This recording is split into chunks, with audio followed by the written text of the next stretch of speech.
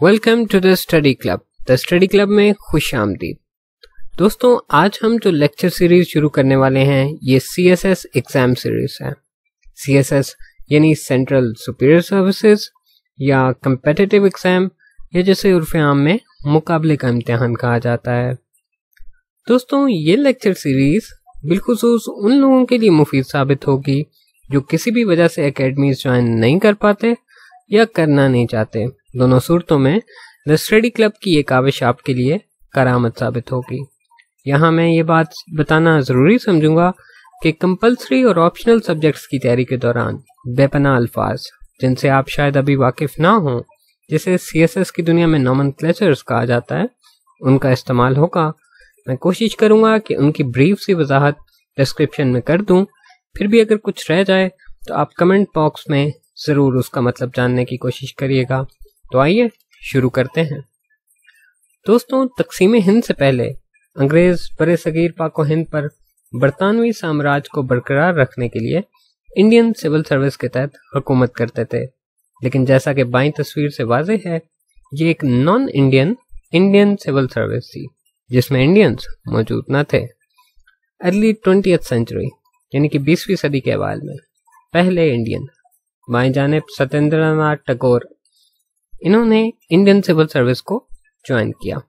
اور دوستوں، تقسیم ہند کے بعد تو ہم بہت سے نامور بیوروکریٹس، جن میں قدرت اللہ شہاب، غلام اساق خان، رویداد خان وغیرہ کے ناموں سے واقف ہیں۔ دوستوں، وقت گزرنے کے ساتھ ساتھ عصر حاضر کا سی ایس ایس بھی تبدیل ہو چکا ہے۔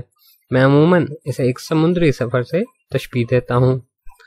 سمندری سفر کا نام لیتے ہی سب سے پہلے میرے ذہن میں اٹیلین ایکسپلورر کرسٹوفر کولمبس کا نام آتا ہے، جنہوں نے پندرہویں صدی میں امریکہ دریافت کیا۔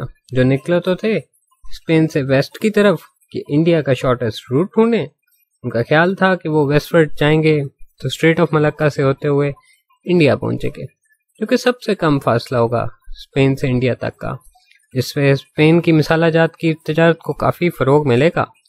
لیکن صاحب، بہامس، کیوبا سے ہوتے ہوئے امریکہ جا پہنچے۔ دوستوں سی ایس ایس بھی ایسے ہی ایک سمندری سفر کی مانت ہے۔ کچھ لوگ تو اس سفر میں کامیاب ہو جاتے ہیں اور جو کامیاب نہ ہو پائیں سی ایس ایس ان کے لیے ایسے ملٹیپل ایونیوز کھول دیتا ہے کہ وہ لوگ ناکام نہیں ہوتے۔ اس لیے اس کی تیاری کرنا ہر کس کھاٹے کا سودا نہیں ہے۔ دوستوں ہماری اگلی ویڈیو میں ہم سی ایس ایس اسینشیلس اس کی کمپلسری اور آپشنل سبجیکٹس ان کو منتخب کرنے کے لیے چند ہدایات اور کچھ مفید باتیں ڈسکس کریں گے۔ ویڈیو پسند آئی ہو تو لائک کیجیے، اپنے دوستوں کے ساتھ شیئر کیجیے، ہمارے چینل دا اسٹڈی کلب کو سبسکرائب کیجیے، ہمیں جوائن کیجیے اور بیل آئکن کو ضرور دبائیے تاکہ ہماری اگلی ویڈیو جلد سے جلد آپ کو مل سکے۔ بہت شکریہ، اللہ حافظ۔